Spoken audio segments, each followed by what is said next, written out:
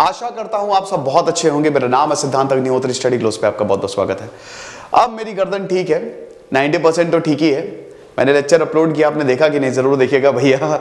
Neck pain जो होता है, बहुत खतरनाक होता है। और बहुत बहुत शुक्रिया भाई, न्यू ईयर का गिफ्ट जो आपने दिया, आठ लाख सब्सक्राइबर्स हमारे पूरे हो गए। Thank you so very much तो आज हम बात करेंगे ऑपरेशन व्हाइट वॉश की। ऑपरेशन व्हाइट वॉश जो है भाई व्हाइट वॉश किसको व्हाइट वॉश किया? किसको धो दिया यहाँ पे? यहाँ पे सफेदी की चमकार पाकिस्तान ने झेली। पाकिस्तान को एकदम सफ़ेद कर दिया, खत्म कर दिया। यही बर्फ़ में दब गए। दोस्तों, ये देखिए, ये 140 भाई इंडियन रिपोर्ट्स की माने तो 140 के करीब पाकिस्तानी सोल्जर जिसमें कर्नल थे, वो मारे गए। अब ये 12 अप्रैल की घटना है 12 अप्रैल 2012 क्या हुआ कि जब ये बहुत बड़ा एवलांश आया, ये गायरी सेक्टर में बहुत बड़ा एवलांश आया और ये इतना भयानक भूस्खलन था। मतलब यहाँ पे जो बर्फ़ आई, एवलांश आया, बहुत थ्योरीज आने लगी। क्योंकि इस एरिया में एवलांश नहीं देखा जाता। उसमें से एक थ्योरी की बात करें तो यह बताई जाती है कि भारत का जो हथियार, काली, जो फ्यूचर वेपन उस पर मैंने एक लेक्चर बनाया है। काली आप ज़रूर देखिएगा। किलो एम्पियर लेजर इंजेक्टर ठीक है? तो भैया, भयानक वो लेजर बीम्स जो है वो छोड़ता है। और उससे सब कुछ खत्म हो जाता है। तो उसमें मैंने पूरा आधे घंटे का लेक्चर दिया है। दोस्तों, अभी तीन दिन पहले अपलोड हुआ तो आप ज़रूर देखिए कि भारत का वो फ्यूचर वेपन है। तो अब हुआ क्या कि ये भारत के ऊपर आरोप लगा कि भाई ये काली हो सकता है। इसमें एक पॉसिबिलिटी है, क्योंकि जब ये एवलांश आया, क्योंकि ये एरिया में, इस एरिया में एवलांश आते ही नॉर्दर्न सेक्टर वाला एरिया है सियाचिन का सियाचिन का ये एरिया, भाई, आप समुद्र से इतनी तल ऊपर हो, है ना, दस हज़ार स्क्वायर फीट की ऊंचाई पे हो तो वाट नहीं लगेगी हालत खराब हो जाएगी। और सियाचिन तो बहुत पहले से डिस्प्यूटेड रहा है। इधर नॉर्दर्न साइड में हैवी बर्फबारी, बहुत बर्फ़ गिरती है, लेकिन एवलांश का इतना ज़्यादा पॉसिबिलिटी नहीं रहती है। फिर यहाँ पे किसी की बॉडी नहीं मिली। किसी की बॉडी नहीं मिली तो ऐसा क्या हुआ, सब जल के खत्म? तो यहाँ पे यही बताया गया कि एक पॉसिबिलिटी ये भी है कि भारत ने फ्यूचर वेपन का यूज़ किया है, भारत ने काली का इस्तेमाल किया है। तो हम उसी की ही बात करेंगे। ऑपरेशन व्हाइट वॉश की बात करेंगे कि क्या वाकई में ऐसा हुआ। देखिए, जो स्टोरी है मैं आपको बताऊँगा, जो माना जाता है मैं आपको बताऊँगा। वैसे अगर आप देखोगे इंटरनेट पे देखोगे या अगर आप किताब भी पढ़ोगे तो उसमें इसका ज़िक्र सच मिलता नहीं है। ठीक है? लेकिन बहुत ज़्यादा पॉसिबिलिटी है। देखिए, सरकार तो बिल्कुल नकारती है कि भाई हमने ऐसा कुछ नहीं किया। बहुत ज़्यादा पॉसिबिलिटी है कि काली का इस्तेमाल हुआ हो। तो ये 7 अप्रैल 2012 की घटना है। एक सौ उनतीस पाकिस्तानी आर्मी सोल्जर्स, वैसे ये 130 प्लस बताए जाते हैं और ऐसे माने तो 124 हैं, बट 130 प्लस पाकिस्तानी सोल्जर जो है, उनकी मौत हो गई थी। 80 से 100 फीट इतनी मोटी बरत, बर्फ़ की इतनी परत मोटी थी, उसके नीचे दबके मर गए। तो ऐसा क्या हुआ कि इतना भयानक? भाई, ये गायरी सेक्टर में एवलांच आता ही नहीं है। आपको बता दूँ कि ये सियाचिन में 150 से ज़्यादा मिलिट्री बेस है। दुनिया की सबसे ऊंचाई पे इस बैटलफील्ड को माना जाता है। आप समझिए कि आप इतनी ऊंचाई पे हो और इतने सालों साल यहाँ पे बर्फ़ रहती है। ये एक बैटलफील्ड बनी हुई है 1949 में। सियाचिन पे दोस्तों भारत और पाकिस्तान को कोई खास एग्रीमेंट हुआ नहीं। एलओसी तो बनाई गई 1965 के बाद एलओसी आई। लेकिन आप ये समझिए कि अभी भी ये वाला एरिया डिस्प्यूटेड ही है। कभी पाकिस्तान, कभी भारत। भारत पे ही हालाँकि यहाँ पे कब्जा है, लेकिन पाकिस्तान के सोल्जर्स भी यहाँ पे आते रहते हैं। भाई ऑपरेशन मेघदूत ऑपरेशन मेघदूत जो उन्नीस सौ तिरासी में किया था हमने, जब देखिए, होता क्या है ना कि लद्दाख और ये वाला एरिया ऐसा है कि सर्दियों में यहाँ पे बहुत ज़्यादा बर्फबारी पड़ती है। तो ये एक म्यूचुअल अंडरस्टैंडिंग है कि सेना जो है वो अपनी अपनी टुकड़ियों को वापस बुला लेती है, जो यहाँ पे सोल्जर्स तैनात है। क्योंकि इतनी बर्फबारी में बहुत मुश्किल है सरवाइव करना। लेकिन पाकिस्तान बदमाशी करता है। जब भी बर्फ़ बारी गिरती है ना, जैसे कारगिल में उसने किया था, उसने अपनी सेना को भेज दिया था। तो ऐसे ऑपरेशन मेघदूत में डिस्प्यूटेड रीजन को, सियाचिन रीजन को यहाँ पे पाकिस्तान ने ऑक्यूपाई करने की कोशिश की। फिर इंडियन आर्मी ने, भाई गौरव गात, अगर आप चाहेंगे तो मैं इस पर भी वीडियो बना दूँगा। इंडियन आर्मी ने क्या ज़बरदस्त यहाँ पे बहादुरी दिखाई। खदेड़ दिया यहाँ पे पाकिस्तानियों को। और तब से कुछ ना कुछ पाकिस्तानी सोल्जर जो है वो करते रहते हैं। सलतोरो रिज है यहाँ पे, उसको लेके काफ़ी ज़्यादा डिस्प्यूट है। तो ऐसा होता रहता है। तो यही इंसिडेंट दोस्तों 7 अप्रैल 2012 को हुआ। अब यहाँ पे इंसिडेंट ये 4500 meters and was the worst ये इतने ऊंचाई पे हुआ। और ये बहुत, आप समझिए कि it was the worst worst avalanche that Pakistani army at ever experienced अब इसको लेके बहुत ज़्यादा थ्योरी आती है। 15000 फीट की ऊंचाई पे है भाई, ये गायरी डिस्ट्रिक्ट जो है। और ये समझिए कि जो भारत के बॉर्डर है, वहाँ पे बहुत ही पास में है। देखिए, इसकी ये सुबह छह बजे की बात है, सुबह छह बजे एवलांश आया। अब इसके बाद रेस्क्यू ऑपरेशन शुरू हुए लेकिन रेस्क्यू ऑपरेशंस में दोस्तों बॉडीज ही नहीं मिली। क्योंकि पहली बात तो ये एरिया ऐसा है कि यहाँ पे बॉडीज आपको मिलेगी नहीं। आगे शुरुआत में कुछ रिपोर्ट्स की माने तो, तो 12 बॉडीज मिलेगी। ठीक है 12 बॉडीज मिली बट कुछ का ये कहना है कि भाई कोई भी कुछ मिले ही नहीं यहाँ पे। सब गए कहाँ? और ढूंढना भी बड़ा मुश्किल है क्योंकि इतने मोटी बर्फ़ की परत कहाँ ढूंढोगे भाई? इस एरिया में गया तो गया। 150 प्लस बताइए इस जैसी एरिया में 150 प्लस बेसेस जो है वो बना रखे मिलिट्री बेसेस बना रखे हैं। अब देखिए 29 मई 2012 को पाकिस्तान ने यह बोला कि भाई, हमारे 129 सोल्जर्स की मौत हो चुकी है और 11 सिविलियंस भी मारे गए, यानी कि टोटल 140 ये आप देख सकते हो, सियाचिन, ये वाला एरिया ठीक है? ये ये है गार्मी, गायरी आर्मी कैंप ठीक है? अब देखिए, यहाँ पे अगर पाकिस्तानी आर्मी की माने तो पाकिस्तानी आर्मी ने बोला कि बहुत बड़ा टुकड़ा नीचे नीचे आया, ठीक है? बहुत बड़ा बर्फ़ का टुकड़ा नीचे आया। फिर एक ये भी थ्योरी बोली जाती है कि भूस्खलन हो गया लैंडस्लाइड हो गई, ठीक है? लेकिन एवलांश तो आया, गायरी सेक्टर में एवलांश आया तो ये बर्फ़ का टुकड़ा, ये अपने साथ आसपास की बर्फ़ को लेके खत्म किया यहाँ पे। एक और थ्योरी मानी जाती है कि यहाँ पे, हाँ, यहाँ पे इंडियन आर्मी की जो मिलिट्री है, या कंस्ट्रक्शन एक्टिविटी चलती रहती है, कुछ ना कुछ चलता रहता है तो आर्मी की वजह से कार्बन डिपॉजिट्स इतने ज़्यादा हो गए थे कि इसकी वजह से ये वेलांश आया।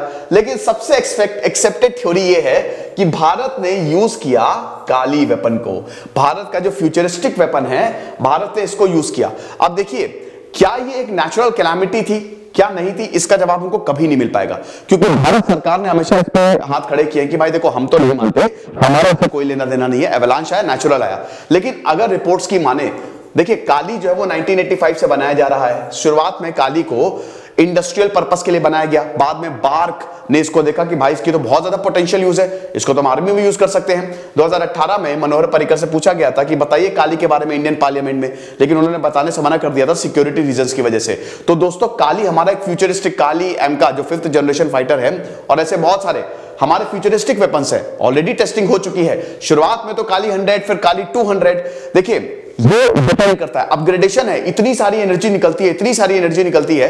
लेक्चर में देखिएगा डिस्क्रिप्शन बॉक्स में उसका लिंक दे दे रहा हूँ कि क्या बताएँ तो अब ऐसा हुआ ना बेटा कि ये जो काली है, ठीक है, ये काली जो है, इसका सबसे खतरनाक स्वरूप है 2000 5000 और अब 10000 भी आ गया है। लेकिन ये देखिए, ये सब सीक्रेट है।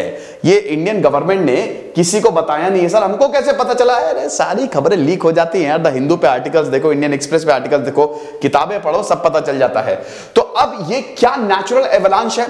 इसकी अगर रिपोर्ट्स की माने, अगर कुछ एक्सपर्ट्स की माने तो इसका, इसकी शुरुआत होती है 2009 में। 2009 में, देखिए, ये वाला एरिया है, जवाहर टनल है यहाँ पे तो बर्फ़ हटाने का काम चल रहा था। बर्फ़ जो है वो काली 2000 काली 200 से हटाई जा रही थी। तो यहाँ पे एक ऑफिसर बैठा हुआ तो उसने बोला कि, भाई, ये क्या गजब का हथियार है? इसको तो अगर हम अपनी आर्मी में लाए तो मज़ा ही आ जाए। तो अब वो लगातार सोचने लगा कि, भाई, इसका आर्मी का एक बार इसको यूज़ करना यूज़ करना यूज़ करना है। तो भाई, काली, ये शुरू हुआ था काली 200 से, जो कि मतलब काली के भी वर्जन है ना, बहुत हाई लेवल पे जाएँगे तो काली 5000 है। तो अब यहाँ पे सरकार की अनुमति लेनी थी। सियाचिन में पाकिस्तानी सोल्जर्स की एक्टिविटी आपको पता ही है। अब इनको एक बार सबक सिखाना था कि भाई ऐसा सबक सिखाए, खेल खत्म करे। तो 2012 2012 इस बीच तीन साल तक भाई सब कुछ परमिशन लेने में ही निकल गया। उस समय मनमोहन सिंह प्रधानमंत्री थे, उनको मनाया गया। तो अल्टीमेटली हम ये देखते हैं कि भारत सरकार ने ये मिशन ऑपरेशन व्हाइट वॉश इसका नाम दिया गया। हालाँकि मैं फिर से बता रहा हूँ कि इस मिशन की पुष्टि नहीं की है किसी ने। कुछ लोग तो बोलते हैं कि तो कॉन्स्पिरेसी थ्योरी एक थ्योरी है जो बनाई गई है, लेकिन हुआ तो है बेटा ये। ठीक है, सरकार ने ये किया तो है, भले ही सरकार बोले कि भाई, हम अपने हाथ खड़े कर रहे हैं, लेकिन मुझे भी ऐसा लगता है कि भाई कुछ तो गड़बड़ है। तो अब यहाँ पे तो खैर मैंने बता दिया कि क्या क्या पॉसिबिलिटी थी नेचुरल कैलेमिटी कुछ लोगों का मानता है कि भाई, बहुत कार्बन डिपॉजिट्स थे, और ये पाकिस्तानी सरकार का कहना है कि कार्बन डिपॉजिट्स जो थे, ये भारतीय आर्मी ने किए हुए हैं। तो अब ये शुरू होता है अप्रैल। अप्रैल 2012 में जब पाकिस्तानी एक्टिविटी इस रीजन में बहुत ज़्यादा बढ़ गई थी तब भारतीय एयरफोर्स ने, भारतीय लोगों ने अब ये सोचा इंडियन आर्मी ने, कि भाई इनको तो अब कुछ करना पड़ेगा। तो यहाँ से शुरुआत होती है एक मिशन की। अब इसमें डीआरडीओ रॉ ये दोनों इन्वॉल्व थे। ऐसा बताया जाता है कि साउथ से साइंटिस्ट को बुलाया गया था। साउथ से वैज्ञानिक आए और यहाँ पे इन्होंने ट्रेनिंग की बकायदा, क्योंकि भाई काली वेपन को यहाँ पे इंस्टॉल करना था ना बहुत बड़ा है, बहुत भारी है। उसको यहाँ पे आप ले कैसे जाओगे? एक जगह पे ही आपको ऑपरेट करना है। तो भाई जो आई एल ये जो एयरक्राफ्ट है, इसमें ले जाया गया इस काली वेपन को। पहले कटक लाया गया फिर सहारनपुर एयरबेस पे और उसके बाद हम ये देखते हैं कि इसको सियाचिन वाले एरिया में ले जाया गया और हवा में ही इसको उतारा भी नहीं गया हवा में ही इसको इससे वार कराया गया। इतनी ज़्यादा एनर्जी दी। तो अब यही चीज़ है कि ज़्यादातर लोगों का मानना है कि it was not a natural avalanche but a laser beam experiment DRDO और रॉ और दोस्तों इसमें भाभा एटॉमिक रिसर्च सेंटर भी था क्योंकि जब टेक्निकल प्रॉब्लम्स आई जब काली को इस एरिया में ले गए तो टेक्निकल प्रॉब्लम्स थी तो बार्क के साइंटिस्ट की भी मदद ली गई। हाईली कॉन्फिडेंशियल ऑपरेशन था। इस तरीके के बहुत सारे ऑपरेशन किए जाते हैं, जिसको नाम दिया गया ऑपरेशन व्हाइट वॉश ठीक है? दोस्तों, आपको पता है का नाम क्या था? वो जासूस जो है स्वीडन का भी उसको एक्सट्रेडिट किया जा रहा है, नाम भूल गया मैं। Julian Assange Julian Assange Julian Assange ने एक वीडियो बनाई थी। आपको याद होगा 2008 में जो अमेरिका का अपाचे हेलीकॉप्टर सिविलियंस पे गोली चला रहा है। ऐसे बहुत सारे ऑपरेशंस होते हैं जो काफ़ी हाईली क्लासिफाइड होते हैं, जिनकी जानकारी बाहर नहीं आ सकती, लेकिन वो होते हैं। ऑपरेशन व्हाइट वॉश ऐसा बोला जाता है एक ऐसा ही ऑपरेशन था। इसमें सबसे पहले हम काली वेपन का पहली बार टेस्टिंग थी इस फ्यूचरिस्टिक वेपन की पहली बार टेस्टिंग थी ठीक है? अब, यहाँ पे, जैसा कि मैंने बताया कि इससे इतनी ज़्यादा एनर्जी निकलती है, इतनी ज़्यादा एनर्जी निकलती है कि ये पूरे शहर को तबाह कर दे। फिर ये तो बर्फ़ थी, समझिए 10 से 15 मिनट की बात थी। एक लेजर बीम छोड़ी 10 से 15 मिनट के अंदर जहाँ पे भी आ सकता है, वहाँ पूरी बर्फ़ का तूफ़ान आ गया, भयानक तरीके से। तो कुछ ऐसा हुआ ठीक है? और इस ऑपरेशन का नाम था ऑपरेशन व्हाइट वॉश बट मैं आपको यही बता रहा था कि भाई इतने बड़े वेपन को इतने बड़े वेपन को इतनी दूर कैसे ले जाया जाए? तो और एनर्जी भी देनी है इतने बड़े वेपन को। तो ऐसा बोला जाता है कि आई एल एयरक्राफ्ट बहुत बड़ा एयरक्राफ्ट जो है रख के ले जाया गया और उसके पंखों से टर्बाइन इसको एनर्जी दी। और वहाँ पे जाना है अगल बगल सुखोई एयरक्राफ्ट चल रहे थे। आई एल सेवेंटी सिक्स और वर्जन चल रहा था। ताकि वो जिसमें काली वेपन है, इसको पूरी सुरक्षा दी जाए। यहाँ तक दोस्तों रिफ्यूलिंग की भी, क्योंकि प्लेन उड़ेगा उसको रिफ्यूल भी करना पड़ेगा, वो भी हवा में कर रखी थी। तो इतने सारे इतने सारे विमान जो है, वो एक साथ निकले थे, ताकि पाकिस्तानियों को सबक सिखाया जा सके। और ये मैंने आपको बताया कि 2009 में शुरू हुआ था जवाहर टनल को, जो कि क्लोज थी, बहुत हैवी स्नोफॉल स्नोफॉल हुई थी, वहाँ पे जब देखा, एक इंटेलिजेंस ऑफिसर ने कि भाई ये कौन सा वेपन है? ये मतलब क्या कौन सा ये मशीन है? वो बर्फ़ को मिनटों में साफ़ कर रही है। वहाँ से इसकी शुरुआत हुई है। ठीक है? तो बॉर्डर रोड ऑर्गेनाइजेशन इसको आ, हम ये देखते हैं कि ऑपरेट कर रही थी क्योंकि भैया ये मिलिट्री वेपन है। डीआरडीओ बार्क ने इसको बनाया है।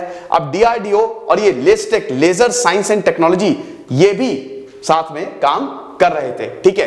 तो ये इस मूवी ये पूरी जो हम ये देखते हैं कि स्नो को निकाल रहे थे यूजिंग काल ये तो मैंने आपको बता ही चुका हूँ kilo ampere linear injector laser नहीं होता, ये लीनियर होता है, ठीक है? लीनियरली ऐसे पार्टिकल जो है वो लीनियरली निकलते, एकदम खत्म कर देते हैं। क्वांटम फिजिक्स न्यूक्लियर फिजिक्स सब इसमें इन्वॉल्व है। तो वही है कि अब यहाँ पे काली लेजर वेपन को ये टेस्ट कर रहे थे बट वही चीज़ है कि जब ऑफिसर ने देखा तो उनको ये लगा, ये मैंने अरे यार कैसी फ़ोटो आ गई है? ये मैंने लेक्चर बनाया है, दोस्तों। काली पे आप तो देख लीजिएगा। तो साइंटिस्ट को ये लगा कि भाई, इसको तो हम यूज़ कर सकते हैं। तो वही है कि I L seventy eight sorry I L seventy eight plane था, मैं सेवेंटी सिक्स सेवेंटी सिक्स बोल रहा हूँ। नहीं I L seventy six plane भी था, ठीक है? आई एल सेवेंटी सिक्स में काली रखा गया था और आई एल सेवेंटी एट जो है, वो इसको रिफिल रिफिलिंग के लिए इसको यूज़ किया गया था, ठीक है? इसका दूसरा वर्जन साथ ही साथ मिराज और सुखोय फाइटर जेट्स भी इनको भी बुलाया गया था। तो समझ रहे हैं कि ये प्लेन चल रहा है, साथ में रिफ्यूलिंग के लिए सेवेंटी सिक्स उसके बाद छह सुखोई फाइटर और मिराज, दस मिराज भी ये पूरा जत्था जो है, काली को ऊपर लेके गया। क्यों? ताकि पाकिस्तानियों की इस गतिविधि को खत्म किया जा सके। ठीक है? तो अर्ली मॉर्निंग सात अप्रैल, सुबह छह बजे के करीब इन्होंने laser shooting hundred percent precision था। हंड्रेड परसेंट ये इन्होंने लेजर शूटिंग स्टार्ट की और मिनटों में पाकिस्तानी सोल्जर्स जो है पाकिस्तानी सोल्जर्स पूरा एवलांश आया और इतनी मोटी परत समझ लीजिए कि जितना एक घर होता है ना इतनी मोटी परत थी ठीक है? ये जम गई उससे भी ज़्यादा मोटी। तो ऐसा कुछ हुआ। तो अब यही है कि जब ये पूछा जाता है कि क्या ऑपरेशन व्हाइट वॉश हुआ था क्या ऑपरेशन व्हाइट वॉश हुआ था तो ज़्यादा कर, कर नहीं ये नहीं हुआ होगा लेकिन हो सकता है हुआ भी हो। ये एक थ्योरी है कॉन्स्पिरेसी थ्योरी है। लेकिन बहुत का यह भी मानना है कि हाँ भाई, इसको अंजाम दिया गया था। पाकिस्तानियों का यह मानना है, पाकिस्तान ने एक बार आरोप लगाया था भारत पे कि भाई भारत, लेकिन भारत, मैंने बताया कि भारत सरकार ने इस पर पल्ला झाड़ लिया कि हमारा इसमें कोई लेना देना नहीं है। 14 जुलाई 2018 को पार्लियामेंट ने सरकार से पूछा था कि क्या कोई प्रपोजल है काली 5000 को आर्म्ड फोर्सेज में? इससे खतरनाक है काली 10000 ये लेटेस्ट है। आर्म्ड फोर्सेज में लेके आया जाए तब बोला कि भाई देखो, ये हम नहीं दे सकते it is very very sensitive और ये नेशनल सिक्योरिटी के लिए खतरा है। तो ये लेक्चर था दोस्तों, ठीक है? ऑपरेशन व्हाइट वॉश पे किस तरीके से भारत ने हमारे फ्यूचरिस्टिक वेपन्स को यूज़ करके पाकिस्तानियों को धूल चटाई। इसमें से 140 पाकिस्तानी जो है वो मारे गए थे।